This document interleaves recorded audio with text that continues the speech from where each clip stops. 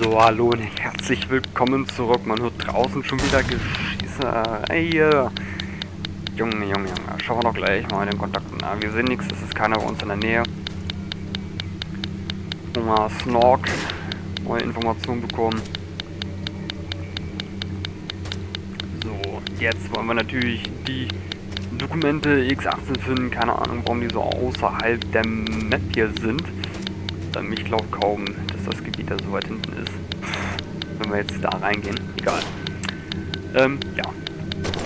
Also wir stehen jetzt hier vor dem Eingang. Und...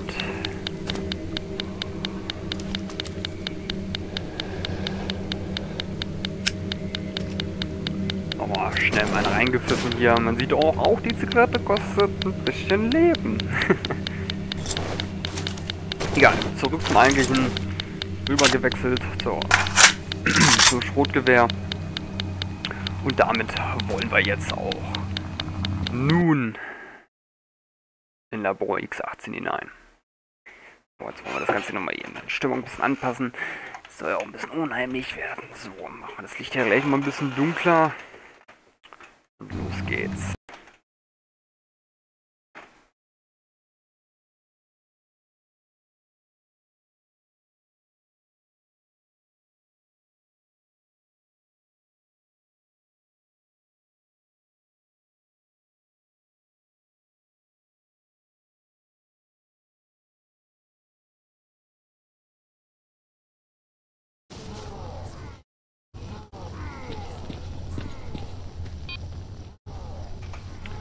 Hört's auch schon.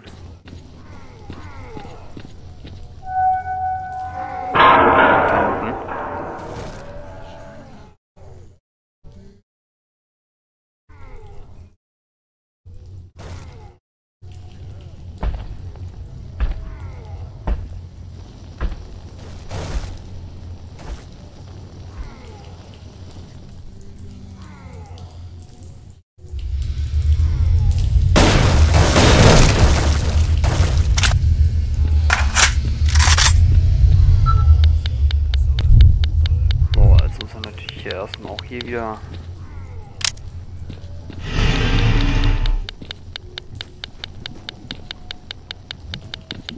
wieder Brot finden.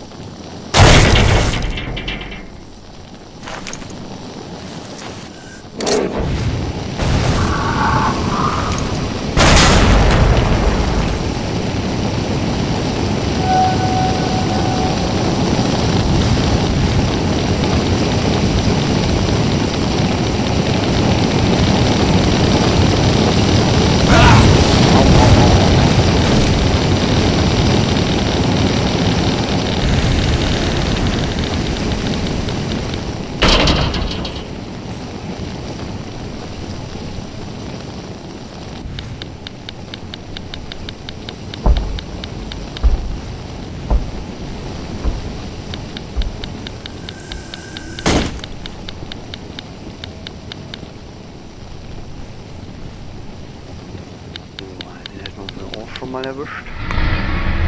Aufpassen, unten ist es auch sehr radioaktiv, deswegen äh, schnell rein, schnell wieder raus, wenn ihr dieses Artefakt holen wollt. Gleich sind Informationen vorweg.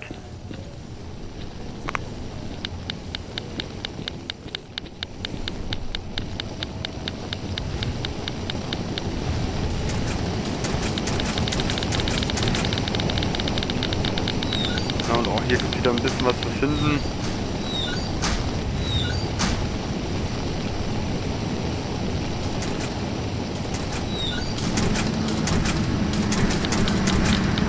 Da ist nichts weiter. Sehen wir haben gerade wieder ein paar Gewehre eingesammelt.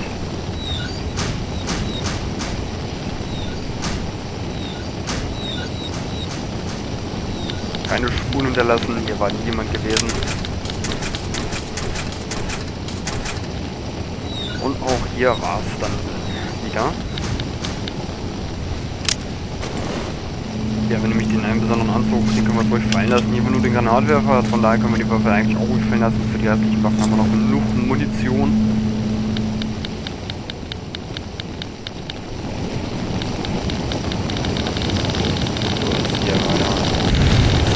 sauber rein und rausfinden.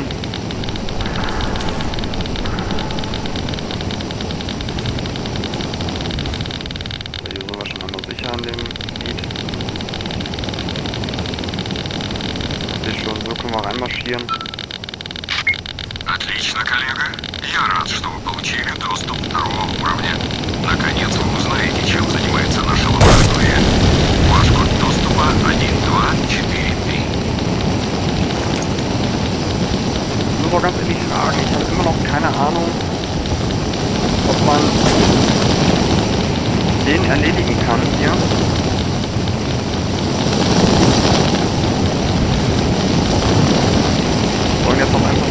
So schnell.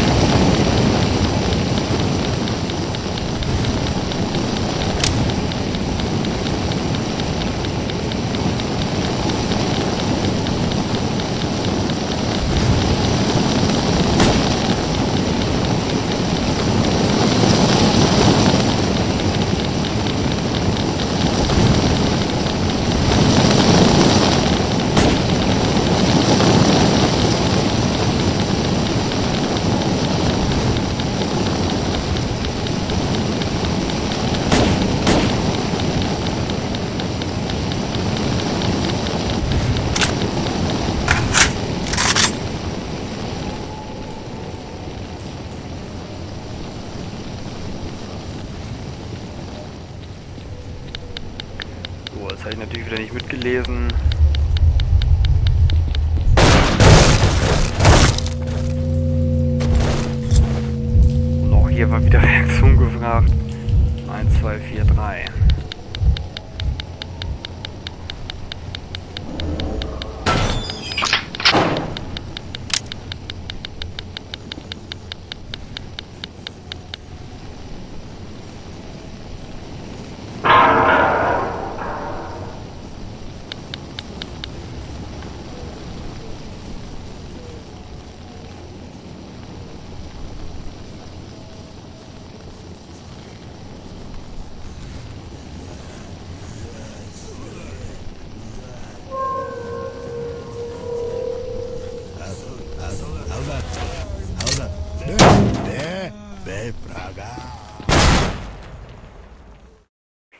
Splitter, die schlagen aber auch überall durch, ja.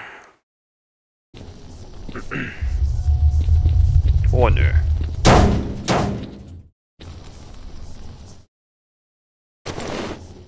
So, schauen wir mal erstmal, Verband hier.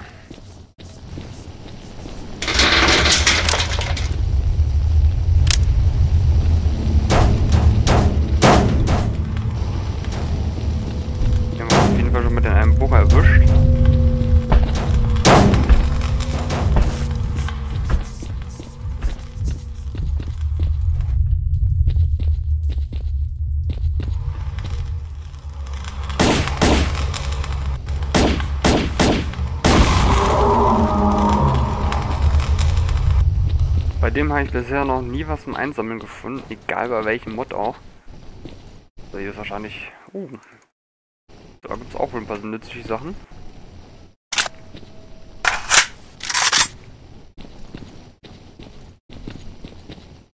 Und hier ist ein anderer Bohrer.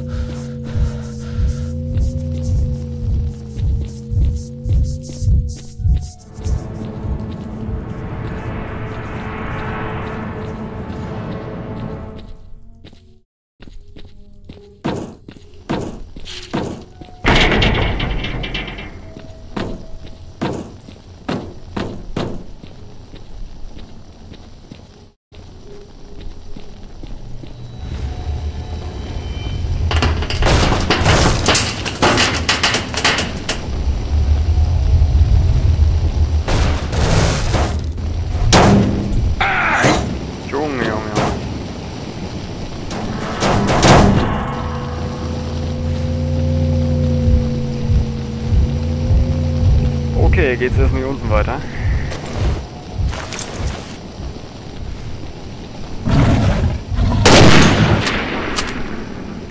So, das war jetzt einfach eben gerade nur mal zur Demonstration, wie stark diese Waffe ist.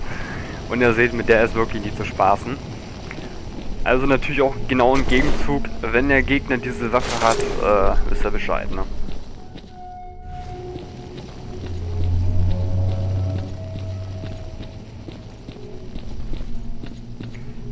hier haben wir dann natürlich auch wieder wie typisch den Raketenwerfer, an dem wir aber auch genauso äh, vor dem Eingang der Bo X18 natürlich auch schon antreffen. Und zwar ja fast so weit oben auf dem kann man sagen.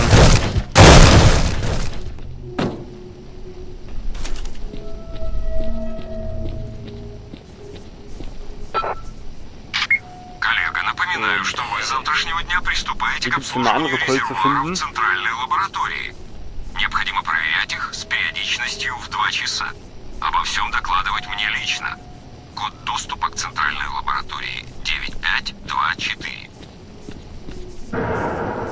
Die aber, wie man schon sieht, ähm, weniger Genauigkeit hat, äh, dafür aber auch nur ein klitzeklein wenig äh, Damage mehr.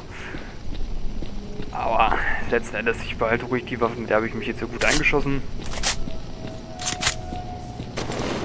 Und die bleibt jetzt auch weiterhin erstmal in meinen Slot drin. Das ist eigentlich auch schon so eine Waffe, wo man eigentlich mit sagen kann, damit kann man eigentlich auch schon gut das ganze Spiel fast durchspielen. Weil sie macht einfach gut mit, ne? Sie hat eine gute Genauigkeit. Schaden, klar, ist jetzt natürlich zwar jetzt nicht so der beste, aber man kommt auf jeden Fall mit der sehr gut weit.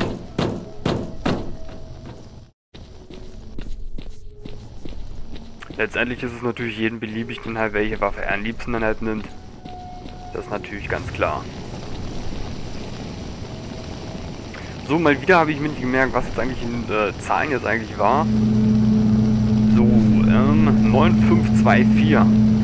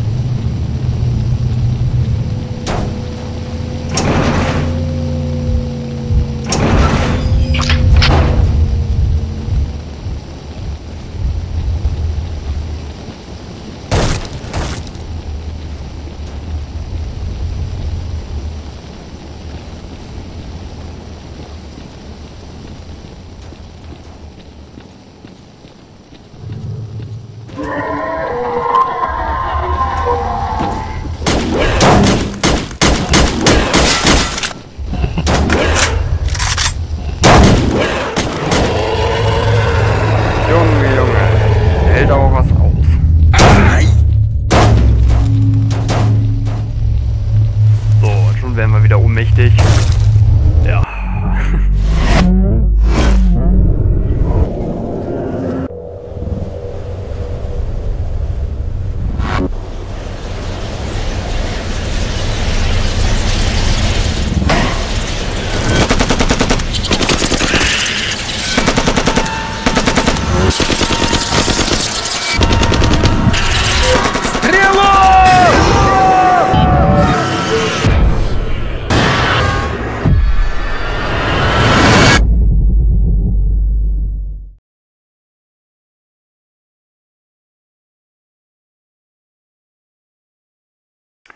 Ja, und jetzt, meine lieben Leute, ähm, keine Panik kriegen. Also bei mir ist das irgendwie interessanterweise normal.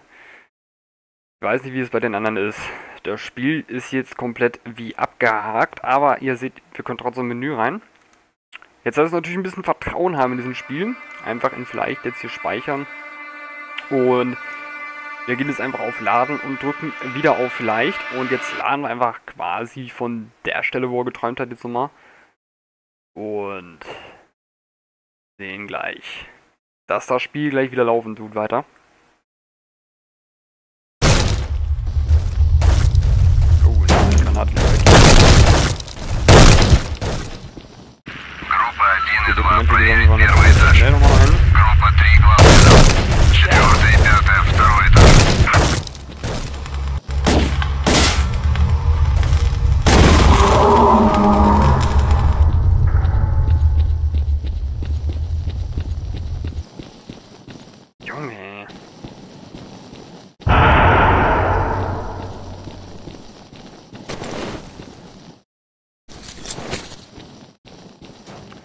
Jetzt können wir natürlich hier nochmal alles einsammeln. Wie ihr seht, auch noch ein paar Granaten zum Einsammeln.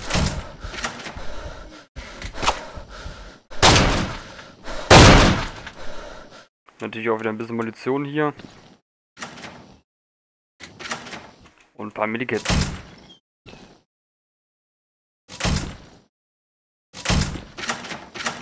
Im letzten Schrank ist nichts.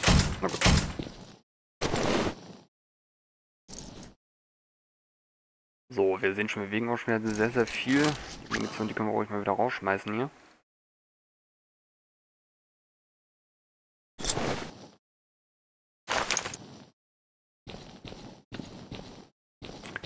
Sonst gibt es, soweit ich weiß, hier erstmal nichts weiter. Also wenn wir diese Welt hier schon sehen, das sieht natürlich alles wirklich sehr, sehr interessant hier auch aus.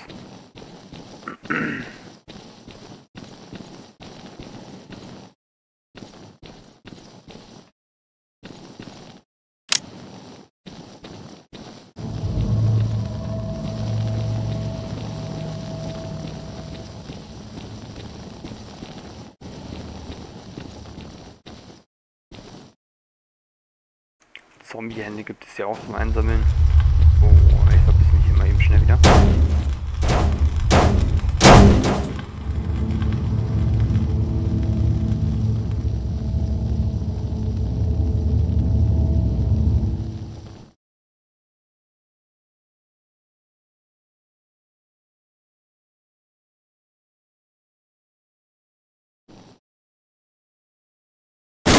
Противник!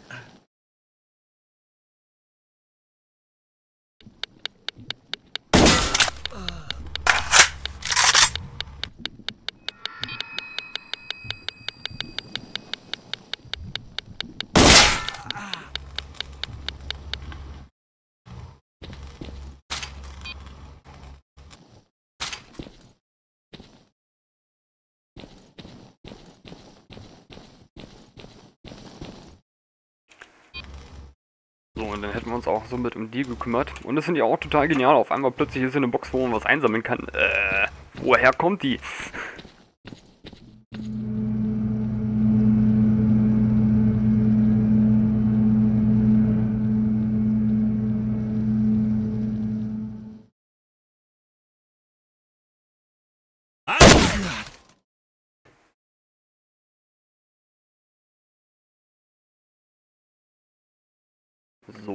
War's dann auch schon wieder.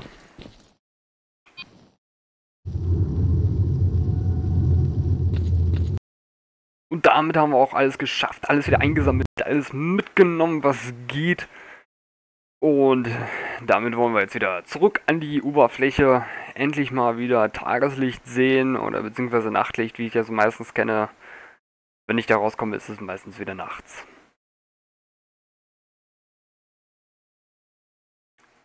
Und es lädt mal wieder ein klein wenig.